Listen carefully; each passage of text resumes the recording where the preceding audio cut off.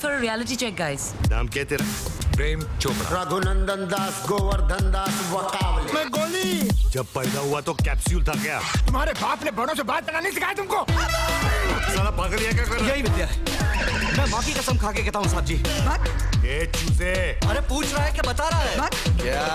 Comedy करता है क्या अंकल?